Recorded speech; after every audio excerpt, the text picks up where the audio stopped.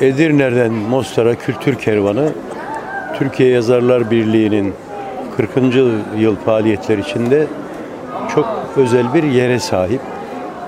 Aslında bu yolculuk görünüşte e, sınırlarımızın, bugünkü sınırlarımızın dışına doğru yapılan bir yolculuk.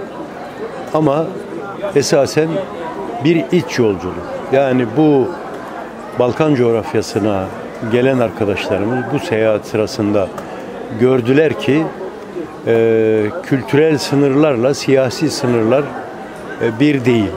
Yani kültürel sınırlar siyasi sınırları aşıyor ve burada bizim e, bazıları dilimizi konuşan, bazıları müşterek e, kültüre sahip olduğumuz, e, tabii ki büyük çoğunluğu da dindaşımız olan insanlar var ama asıl müşterekliği sağlayan burada beş asır kadar devam eden Osmanlı hakimiyeti ve Osmanlı hakimiyetinin oluşturduğu e, zengin kültürel yapı.